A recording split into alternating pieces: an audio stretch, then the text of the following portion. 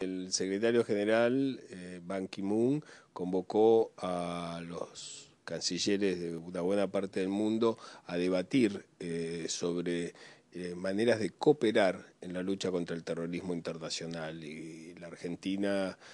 fue invitada a participar de,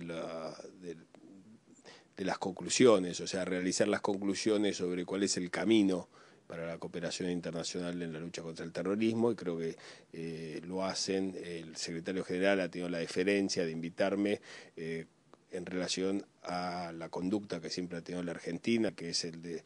buscar justicia, o sea, el de buscar el camino eh, del respeto a los derechos humanos en la lucha contra el terrorismo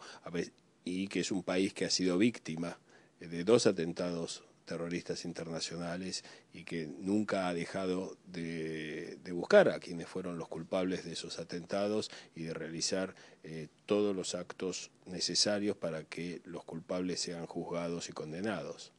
Así que mañana vamos a explicar los fundamentos éticos, morales y legales por los cuales la Argentina considera que solamente respetando los derechos humanos una sociedad democrática puede luchar contra el terrorismo. Esto también va a ser parte de análisis en la Asamblea y en los discursos, entre ellos eh, el de la presidenta como todos los años. Este es un año muy importante para ella ya que eh, es presidenta de eh, lo que se llama el G77 más China, que es el grupo de 130 países, en realidad el grupo más grande, el bloque más grande de países eh, que existe dentro de las Naciones Unidas. Ella como presidenta del G77 habla el primer día de la Asamblea, eh, es la séptima oradora y es la primera vez que un presidente argentino habla en la inauguración de, la Asamblea Anual de las Naciones Unidas.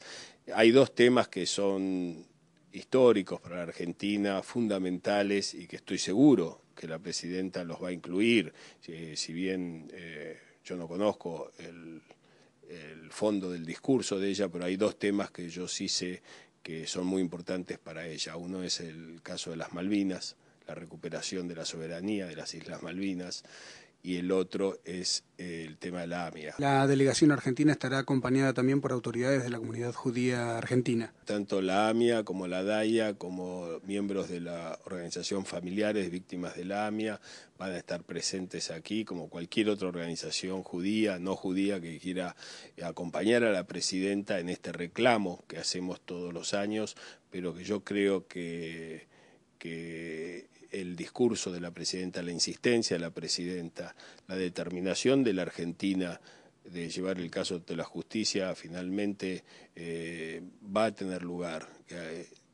esperamos que el esfuerzo de tantos años, o sea, concluya finalmente con eh, la presentación de los, de los responsables o de las personas acusadas por la justicia ante jueces.